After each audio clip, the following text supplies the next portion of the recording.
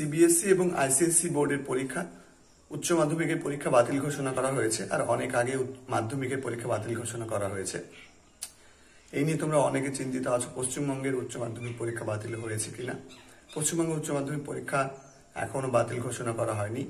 উপরন্তু, আজকে দুপুর দুটোর পরে পশ্চিমবঙ্গে কবে পরীক্ষা হবে, কখন পরীক্ষা হবে, মাধ্যমিক এবং উচ্চ মাধ্যমিকের রুটিন প্রকাশের একটা সম্ভাবনা আছে।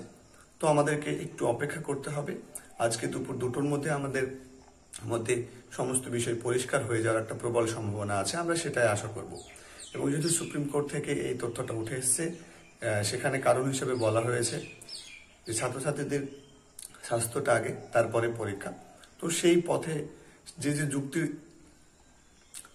কারণে সিবিএসই বোর্ডের পরীক্ষা বাতিল হয়েছে, সেই যুক্তির কারণে পশ্চিমবঙ্গের পরীক্ষা বাতিল হতেও, বাতিলও হতে পারে। কিন্তু সেটা কি হবে, সেটা আমরা আজকে দুপুর দুটোর পরে বুঝতে পারব বা আমাদের একটু ধৈর্য ধরতে হবে। আর কোন পদ্ধতিতে মূল্যায়ন হবে যদি পরীক্ষা বাতিল হয়, সে বিষয়ে কিন্তু সিবিএসই বোর্ডের বোর্ডকে কোনো কিছু জানানো হয়নি বা সিবিএসই বোর্ডও কোনো কিছু জানায়নি। তো এই গুরুত্বপূর্ণ তথ্যটা তোমাদের জন্য উঠে এসছে। আমি তোমাদেরকে জানিয়ে দিলাম। আশা করব তোমরা প্রত্যেকেই উপকৃত হলে।